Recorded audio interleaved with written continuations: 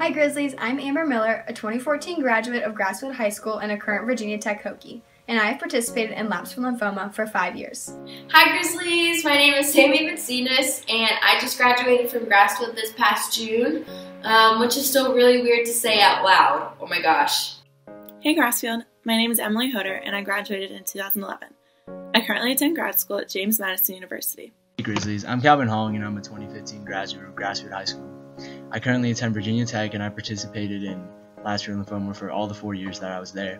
Hey Grassfield, my name is Meredith Hamlet and I graduated in 2010. I currently work for the Old Dominion Athletic Foundation as their donor relations manager. Hey Grizzlies, I'm Katrina Vidal, alumni from the first graduating class in 2008. My brother Jordan Miller created Laps for Lymphoma when it hit our community hard and a little bit closer to home than we expected when my dad was diagnosed with stage 4 lymphoma.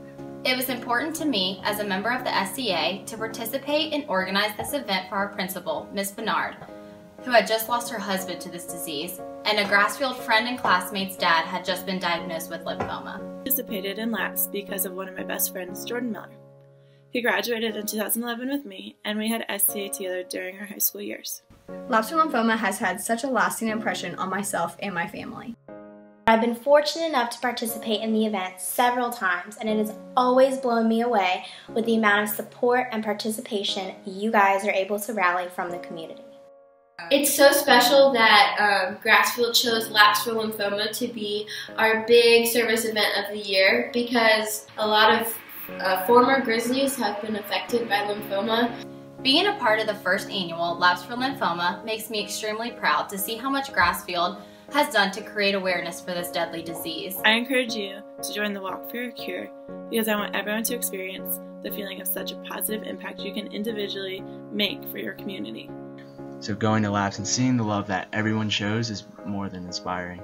I challenge current Grizzly students to engage in meaningful service that brings the community together for the greater good. We have the opportunity to find a cure. So I really invite you to commit to a cure and walk on April 23rd, 2016. Join the Grizzly spirit of giving back to the community because as an alum, I can truly say that um, Grassfield is such a special place.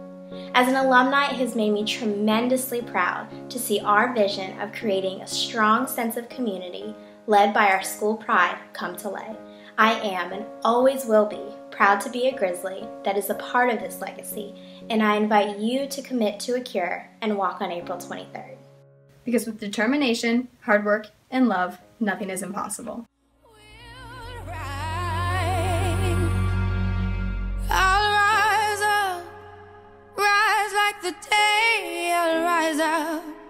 In spite of the ache. I will rise a thousand times again, and we'll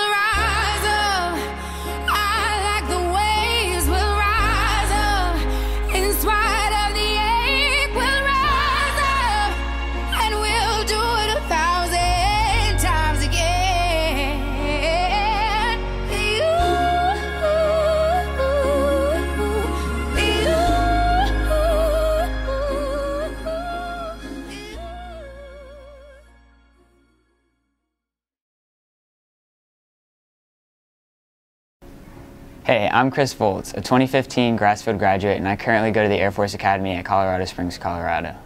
And I have the honor and privilege of introducing my mom, Becca Volz. I can't explain how lucky I am to have her as a mom.